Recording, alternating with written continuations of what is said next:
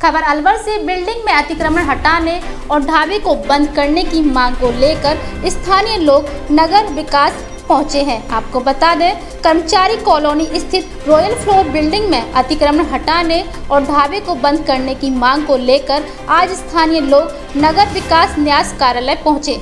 जहाँ लोगों ने नगर विकास न्यास सचिव को ज्ञापन सौंपकर अतिक्रमण हटाने की मांग की है।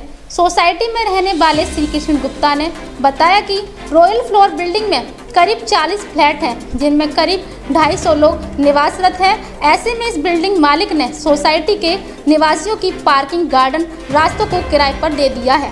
पार्किंग में बच्चों को खेलने का गार्डन की सुविधा वाले स्थान पर बिल्डर द्वारा जबरन कब्जा कराया जा रहा है। बिल्डर द्वारा किराए पर दिए गए रॉयल फ्लोर सस्ता ढाबा होटल खोला जा रहा है। जिससे यहाँ लोगों का आगमन रहेगा, वह नियमित रूप से लोग शराब पीकर दंगा करेंगे, जिसके कारण यहाँ के लोगों की शांति भंग हो जाएगी। पूर्व में इसी जगह एक होटल और खुला हुआ था। पहले भी आए दिन लोग शराब पीकर अभद्र व्यवहार करते थे, जिससे मेन रोड पर ट्रैफ़िक जाम हो जाता था। इसलिए उसको भी बंद कराया गया, लेकिन दोबारा से बिल्डिंग मालिक यहाँ दोबारा से होटल ढाबा खुलवा रहे हैं। इससे सोसाइटी के रहने वाले लोगों का रास्ता बंद हो रहा है। इसलिए लोगों ने नगर विकास न्यास में पहुंचकर सचिव को ज्ञापन सौंपा और तुरंत प्रभाव से रोकने और कार्रवाई करने की मांग की है। हम रॉयल फ्लोर सोसाइटी के सदस्य करीब में 200 लोग रह रहे हैं 48 फ्लैट्स हैं, जिसमें मोस्टली सीनियर सिटीजन्स हैं, विकलांग भी हैं और कैंसर पीड़ित भी हैं। इस तरह ने अपने को रहने के लिए जब फ्लैट लिए थे तो बिल्डर ने नक्शा कुछ और दिखाया था यूआईटी के नक्शे के हिसाब से तो बेच दिए।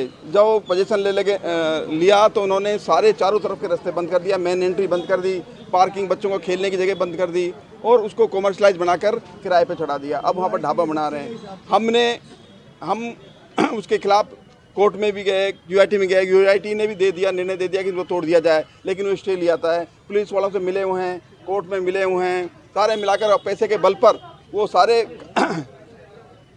जो रेजिडेंट्स हैं उनको परेशान करते हैं। इवन बरसात के में पानी भर जाता है तो साफ़ करने के लिए भी मना कर देते हैं। सारा चारों तरफ़ से बंद कर रखा है। जब पाइप रुक जाती है उसको रोकने के लिए मना कर देता है। तो हर तरह से परेशान कर रहा है। वो चाहते हैं कि छोड़ छाड़ के भाग जाए यहाँ से। यूआईटी में जब आपने अतिक्रमण की शिकायत की तो अभी तक यूआईटी ने यूआईटी ने एक्शन ले लिया था। दे दिया दे रखा है। उन्होंने कार्रवाई नहीं की लेकिन उन्होंने कहा ये गलत है। उसके लिए तोड़ने का आदेश दे दिए तोड़ने के आदेश दे रखे हैं लेकिन उनको इम्प्लीमेंट नहीं हो रहा है। तो अभी क्या चिन्हित कर लिया उन्होंने? बिल्कुल मान लिया कि अतिक्रमण नहीं बिल्कुल मान लिया है सब उन्होंने मान लिया है लेकिन उसको अभी एक्शन नहीं लिया गया है। हम चाहते हैं उसको एक्शन लें जब भी जाते हैं तो ये स्टे लिया आता है जाकर कोर्ट में जाकर कोर्ट में स्टे लेना आजकल बहुत आसान है। राजनीति से काम तक अपराध से अंजाम तक खेत से खलिहान तक। खिलाड़ी से मैदान तक, सितारों से आसमान तक। अब हर खबर पर होगी हमारी पैनी नज़र। देखिए इंडिया न्यूज़ 64 पर।